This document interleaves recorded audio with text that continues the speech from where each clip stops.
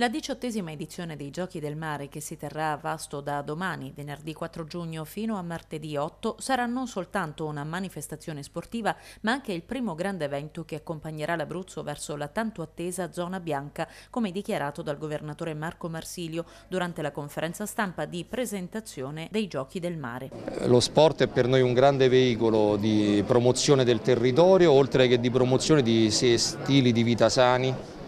non a caso in questa manifestazione c'è anche una convenzione con l'ASL per mostrare insieme alle, ai dipartimenti cardiovascolari quali siano i benefici dell'attività fisica per la salute e noi speriamo che questi giorni siano davvero giorni di grande festa, di grande partecipazione. È un ottimo veicolo per far conoscere la nostra regione non soltanto alle persone che verranno per partecipare in prima persona alle gare, ai giochi, ma alle tante altre che li potranno vedere nelle televisioni, ne potranno seguire le, le attività e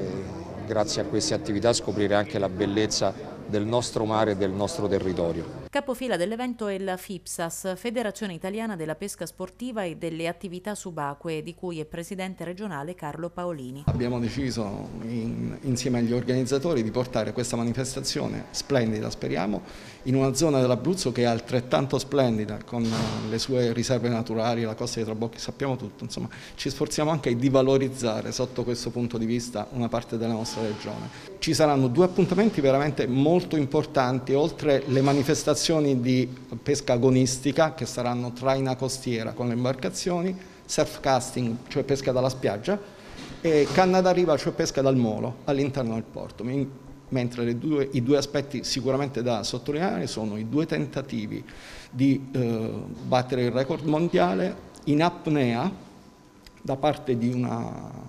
atleta disabile di Lanciano e da parte dell'attuale dell detentrice del record. E poi gli altri, gli altri, due aspetti importanti sono quelli di coinvolgere tantissimi ragazzi delle scuole, anche per far capire loro che